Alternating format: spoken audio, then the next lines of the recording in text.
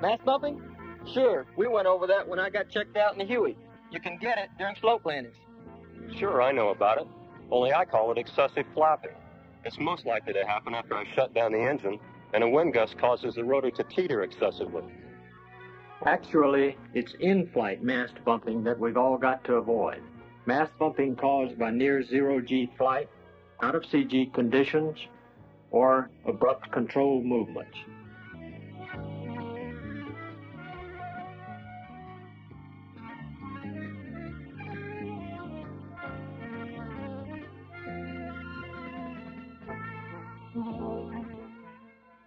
One of the functions of the Army Agency for Aviation Safety is to analyze aircraft accidents to determine causes and then make recommendations to prevent similar accidents in the future.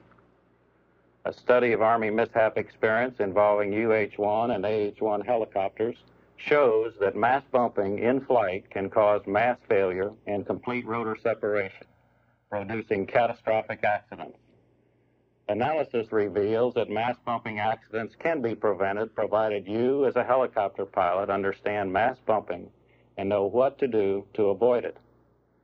This film will first show what mast bumping is in the Huey and Cobra, then show the in-flight conditions which can precede mast bumping, and last, and by far the most important, how you can avoid mast bumping. It may be necessary to view the film more than once for some of the required corrective actions are counterinstinctive. It is absolutely essential that you completely understand what causes mast bumping and what to do to avoid it.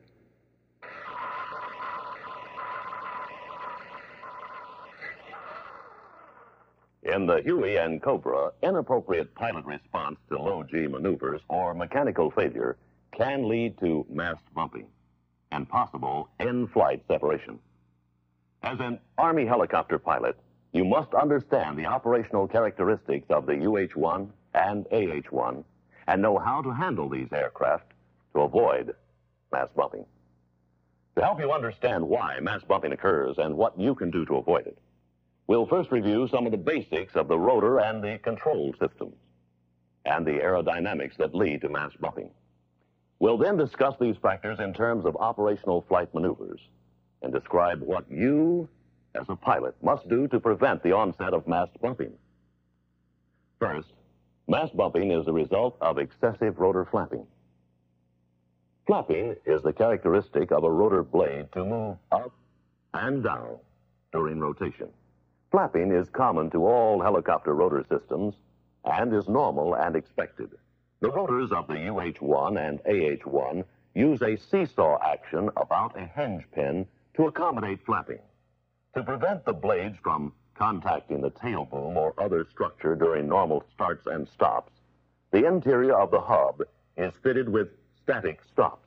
These are contoured to limit the amount of blade flap, and sufficient clearance is provided between hub and static stops for all normal maneuvers. On the UH-1, the maximum flapping angle is just over 11.5 degrees. On the AH-1, it's 12 and a half degrees. If flapping exceeds these values, the stops will bump the mast.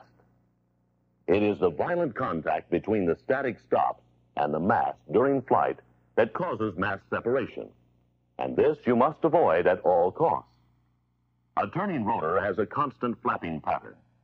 Maximum flapping up will always be opposed by maximum flapping down, 180 degrees later.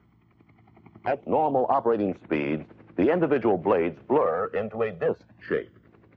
When this rotor disc is not at a right angle to the mast, flapping is occurring. Now let's examine how flapping can occur as a result of pilot control inputs. The cyclic control stick transmits inputs through the swash plate, changing blade pitch. The rotor disc will flap in the direction the stick is moved. So, cyclic stick movement produces rotor flap. The pilot controls the position of the rotor disc. In flight, when the rotor disc tilts, the aircraft responds by moving in the same direction.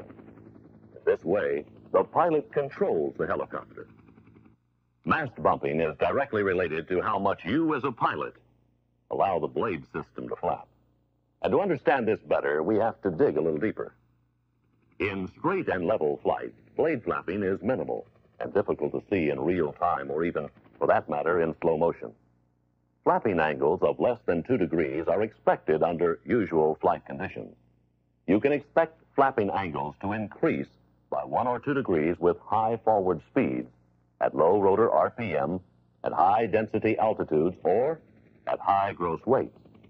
You can also expect increased flapping angles during turbulence. Aircraft maneuvering can also induce large flapping angles. For example, side slip and low speed flight at extreme CG positions. The risk of excessive flapping and possible mast bumping increases when you allow the aircraft to approach low G conditions. And that's what we really want to talk about. Let's see what happens when a pilot encounters a ridge line or a tree line, executes a cyclic climb, and then noses over using abrupt forward cyclic. In this maneuver, he has deliberately given up G loading on the rotor disc by changing rapidly from upward to downward flight and is approaching zero G. Higher speeds aggravate the situation. The combination of down collective and low G means that lift, and therefore thrust, has essentially disappeared. Let's look at the situation from aft along the roll axis. Absence of thrust means there is no lateral cyclic control, so cyclic movement cannot change fuselage position. The aircraft does not respond because the pilot has given up G loading on the rotor disc. The thrust of the tail rotor, acting above the helicopter's center of gravity, starts the fuselage rolling to the right. Seeing this, the pilot wants to counter the roll. Normally the right thing to do.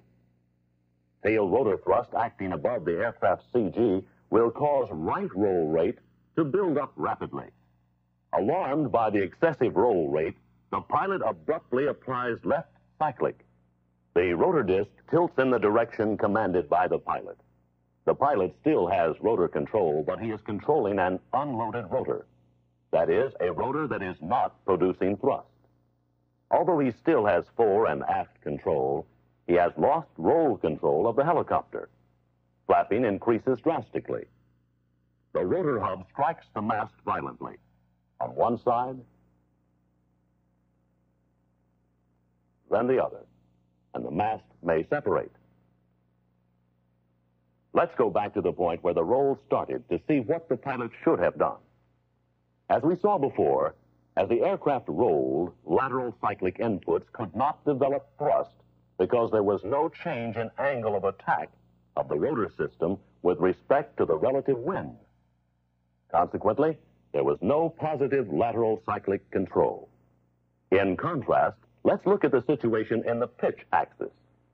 Similar to the roll case, aft cyclic inputs cause the rotor disc to move.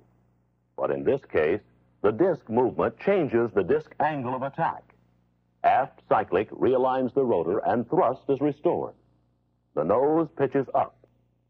And with thrust once again available, the pilot is able to counteract the roll. Let's make sure we all understand what the pilot should have done during the nose over maneuver. He could have avoided the low G condition by using more gradual forward cyclic. The rate and extent of cyclic motion should be adjusted to keep the rotor loaded at all times. As a pilot, you clearly minimize the likelihood of mast bumping by staying above one half G at all times, thereby preventing approach to low G and the right roll tendency. If the rotor becomes unloaded during low G, it is absolutely essential to recover thrust first by smoothly moving the cyclic stick aft. Once thrust is restored, left cyclic will then return the aircraft to the normal flight attitude. The basic lesson here is that the pilot contributes to the potential of mast bumping in the low G environment because any pilot's instinctive reaction when a roll begins is to correct it with lateral cyclic. And the greater the roll rate, the more abrupt the control movement is likely to be. Severe flight attitudes seem to call for severe control inputs. Yet it's the severity of these inputs that can produce worse problems. If you encounter low G conditions, remember, avoid abrupt, large magnitude control inputs. Smooth, gradual control movements are essential. First, aft cyclic to restore the thrust. Then and only then, left cyclic to correct for right roll. You may also encounter low G conditions during masked, unmasking maneuvers or steep descending nose-low turn. If these maneuvers are performed with abrupt, uncoordinated, or cross-control inputs, the rapid changes from upward to downward flight may unload the rotor and induce mast bumping. The risk of mast bumping also increases in turbulence when sudden upward and downward drafts can unload the rotor and get you into low G conditions. If that should happen, you must resist the instinctive urge to counteract unusual aircraft attitudes with hard lateral cyclic and pedal inputs. You must first reload the rotor by moving the cyclic stick aft. Then, once normal G conditions have been reestablished, normal control will return. But how about another possible cause of mast bumping? Engine failure. What should the pilot do to control this situation? Again, let's get back to some basics so that we can understand what happens. First, under normal conditions, and then when the engine fails. The actions we'll be talking about are complex, so it helps to imagine there's a camera along each axis, together with one behind the cockpit. At this moment, let's say the helicopter is flying in its normal cruise attitude. That means the longitudinal axis, and therefore the nose, is pitched down slightly, and the rotor disc is tilted slightly forward. From aft, the rotor disc is tilted slightly to the left to counter the rightward thrust of the tail rotor. The roll axis is located below the tail rotor thrust axis. From above, the main rotor rotation is counterclockwise. The resulting torque would force the nose to the right if it were not for the anti-torque thrust of the tail rotor and vertical fin. The airflow over the main rotor and fuselage would tend to raise the tail if it were not for the synchronized elevator. In normal flight, then, all forces are balanced and the helicopter is in equilibrium. From the cockpit point of view, the horizon is horizontal. Most engine failures do not result in mast bumping, but it can happen if the pilot fails to take appropriate action. Let's say the aircraft is in normal flight, all forces balanced. Then the engine fails suddenly. As the engine stops, the rotor RPM and airspeed both begin to decay with some loss in altitude. Because the engine is no longer driving the main rotor and RPM is decaying, the torque about the mast that had been opposed by the tail rotor and fin is diminishing. So now, the tail rotor and fin, continuing to thrust to the right, causes the nose to yaw left.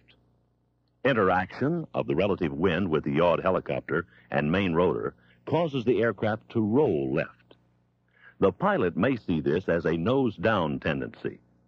The change in attitude has been abrupt and is continuing at an alarming rate. The pilot, responding to what he perceives as a nose down, left yaw situation, reacts abruptly, but in the wrong manner for the case at hand. Right aft cyclic and right pedal, but he fails to lower collective. Right aft cyclic immediately tilts the rotor disc right and aft and failure to lower collective results in decaying rotor RPM.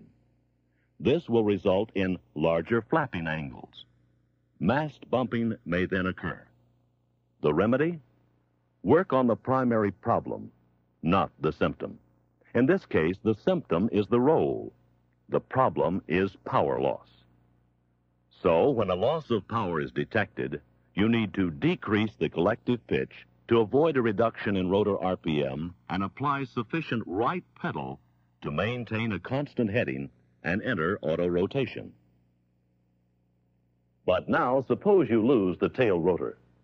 In this case, the situation is practically a mirror image of engine failure. But it's further complicated because you've lost one of your primary control forces tail rotor thrust. Let's see what happens. The instant the tail rotor fails, anti-torque thrust goes to zero, and only the fin remains to resist the torque about the main mast. The reduction in anti-torque thrust induces right yaw and left roll. Yaw attitude now exposes flat areas on the left side of the aircraft and the nose to the relative wind. This induces a roll to the left, aggravated by the absence of tail rotor thrust above the longitudinal axis that could have countered a roll in this direction. Almost instantly, the aircraft can yaw right, roll left, and pitch down. In this example, the pilot fails to lower collective to reduce the torque that is causing his aircraft to yaw. Instead, he moves the cyclic aft right again, working on the wrong thing, the symptoms, and not the problem. With the fuselage already rolling left, right cyclic tilts the rotor disc toward the fuselage and mast bumping threatens. The problem in this case is the torque tending to yaw the aircraft. The proper procedure in the event of tail rotor loss must be immediate reduction in power. You should then enter auto rotation. Power reduction will reduce the yawing tendency and therefore allow more time to correct the roll situation smoothly. With reduced throttle and collective, keep an airspeed slightly above the normal autorotative glide speed. You can experiment with gentle throttle and pitch application to see if some degree of powered flight can be resumed. But if any adverse yawing is experienced, re-enter auto rotation, continue descent, and land. For the past few minutes, we have reviewed some factors which are critical to your operation of the UH-1 and the AH-1 aircraft. We have reviewed mast bumping, what causes it, and how to prevent it. We saw that mast bumping is the result of excessive rotor flapping, and that the problem is directly related to how much you as a pilot allow the blade system to flap. We pointed out that the cyclic stick and swash plate make it possible for the pilot to control the tilt of the rotor disc. We saw that blade flapping is minimal in straight and level flight, less than two degrees under usual conditions. We then discussed how excessive flapping and possible mast bumping may be caused by aircraft maneuvering, particularly when you allow the aircraft to approach low G conditions. We explained that the rotor becomes unloaded during low G. We saw that the crucial issue was the loss of rotor thrust, because it's those times when the rotor is not producing thrust that lateral cyclic movement of the unloaded rotor disc will not only fail to control the helicopter, but can result in mast bumping. We then explained how to counteract the effects of low G by recovering rotor thrust first by smoothly moving the cyclic aft, then and only then left cyclic to correct for right roll. We also examined how engine failure or loss of tail rotor can cause mast bumping and the corrective actions the pilot should take, explaining that in the case of a loss of power, you should decrease collective and apply right pedal immediately to avoid a reduction in rotor RPM. Then enter auto rotation. Now, if the tail rotor fails, immediately reduce power, then enter auto rotation. The basic lesson here, and the single most important message that should have come through, is that you as a pilot can prevent mast bumping by the way you handle the aircraft. It is absolutely essential that your control inputs be smooth and gradual, even in difficult situations such as low G, because it is abrupt and full range control inputs combined with mechanical factors that cause mast bumping. It is crucial that you understand the operational characteristics of the UH-1 and AH-1 rotor systems and how normal blade flapping limits can be exceeded and result in mast bumping and possible mast separation. Again, I urge that this film be rerun until each and every one of you is completely confident that you know what to do to avoid mast bumping. Mast bumping is real, but it can and must be prevented. It is vital that you understand the part you play